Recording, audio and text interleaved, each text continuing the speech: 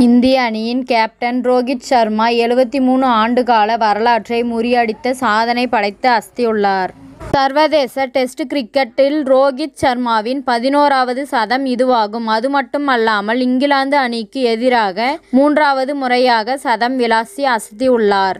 அதுமட்டுமல்லாமல் தொடக்க வீரராக இங்கிலாந்து அணிக்கு எதிராக அதிக சதங்கள் விளாசிய வீரர்கள் பட்டியலில் ரோஹித் சர்மா இரண்டாவது இடத்திற்கு முன்னேறியுள்ளார். ரோகித் சர்மா ஜடேஜா கூட்டணி இருநூத்தி நாலு ரன்கள் பார்ட்னர்ஷிப் அமைத்த நிலையில் ரோகித் சர்மா நூற்றி தொண்ணூற்றி ஆறு பந்துகளில் மூணு சிக்ஸ் பதினாலு பவுண்டரி உட்பட நூற்றி முப்பத்தி ஒரு ரன்கள் எடுத்து ஆட்டமிழந்தார். இதன் மூலம் ரோஹித் சர்மா அதிக சிக்சர்கள் விளாசிய இந்திய வீரர்கள் பட்டியலில் தோனியின் சாதனையை முறியடித்துள்ளார். டெஸ்ட் கிரிக்கெட்டில் தோனி எழுபத்தி எட்டு சிக்சர் அடித்திருந்த நிலையில் ரோகித் சர்மா எண்பது சிக்சர்களுடன் இரண்டாவது இடத்திற்கு முன்னேறியுள்ளார்.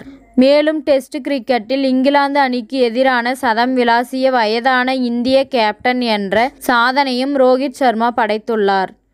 ஆயிரத்தி தொள்ளாயிரத்தி ஐம்பத்தி ஒன்றாம் ஆண்டு இங்கிலாந்து அணிக்கு எதிராக இந்திய கேப்டனாக செயல்பட்ட விஜய் ஹசாரே முப்பத்தி ஆறு வயது மற்றும் இருநூத்தி எழுபத்தி எட்டு நாட்கள் சதம் விளாசியதே சாதனையாக இருந்தது.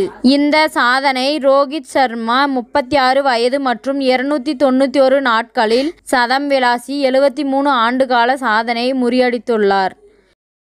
இத்துடன் இந்த செய்தி முடிவடைகிறது. நன்றி வணக்கம். மீண்டும் அடுத்த வீடியோவில் சந்திப்போம். மேலும் இது போன்ற சுவாரஸ்யமான செய்திகளை உடனுக்குடன் தெரிந்து கொள்ள தமிழ் சிறை சேனலை சப்ஸ்கிரைப் பண்ணுங்க. பெல் ஐக்கானை கிளிக் பண்ணுங்கள்